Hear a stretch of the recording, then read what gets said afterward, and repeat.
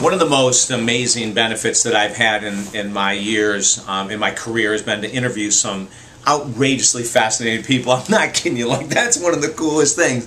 All the people that I've had a chance to interview, uh, from the world of spirituality to entertainment to uh, personal growth, um, athletics, you name it, it's been amazing. And I want to share a story with you about Liz Murray.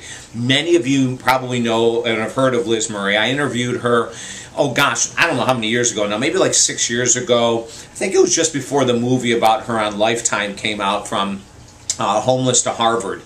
And she was in Harvard University when I had a chance to interview her, going to school, and just, just a fascinating, fascinating woman. I am David Essel.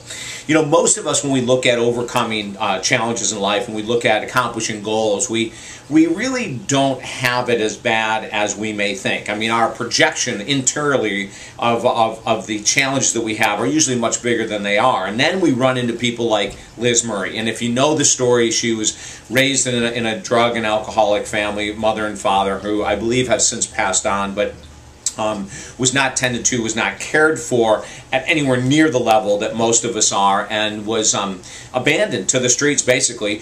Um, had to make a choice, uh, took some time, did what she used to call sofa surfing. You know, she would stay at different friends' houses on their couch, and then absolutely became homeless and started spending time in New York City in the parks, sleeping in the parks. And from that position in life, she was introduced a teacher, went took uh, the kids on a field trip from New York City to Boston. Um, you know, this whole dream about Harvard was put into her brain that it might even be possible because of the situation that she was in.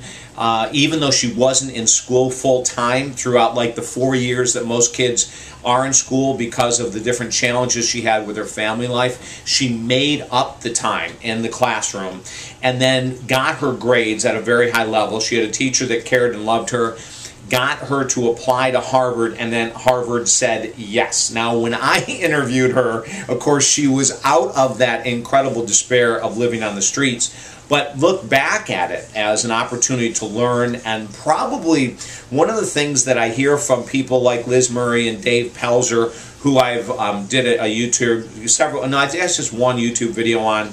He's a great author. You can look through my YouTube channel and see the, the video I did on Dave Pelzer. But these people that come from incredibly challenging uh, households where they're abandoned by their family or abused by their family, whatever it might be, is that they all have a central theme and that's forgiveness.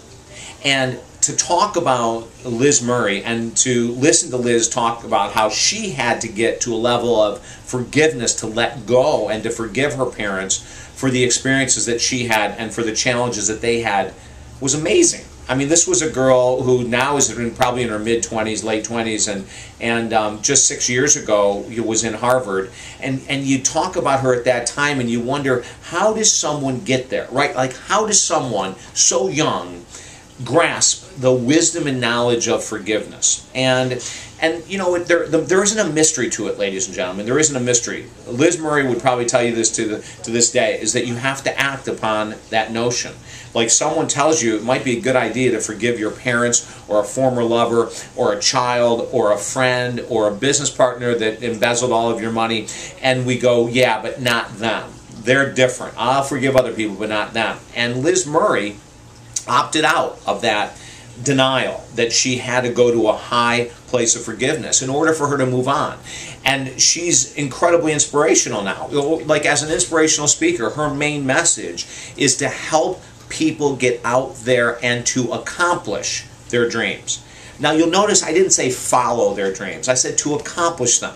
And there's a real big difference. It's like goal setters, goal achievers, right? Anyone can set goals. It's the people that achieve them that do something different.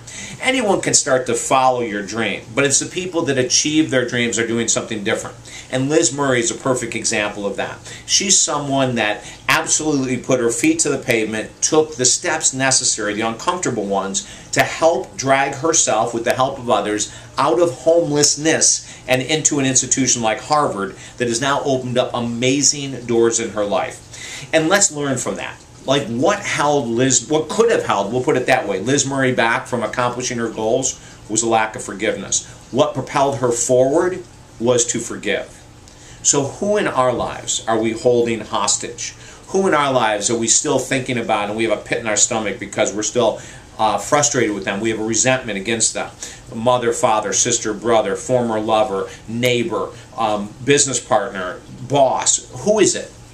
That we need to forgive so that we can accomplish those goals and dreams in life and not just think about them. Let's follow Liz Murray's example. She rocks. And go on, on, on uh, online and, and check her out. Just all you have to do is either type in Liz Murray or go ahead and Google um, From Homeless to Harvard. Awesome inspirational story. You'll love it as much as I did.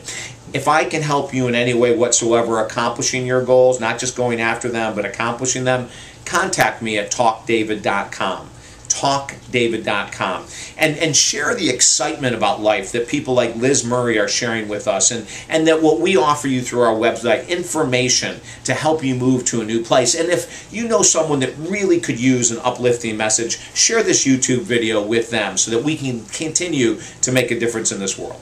Okay? Thanks so much for tuning in. Have a great day. Bye bye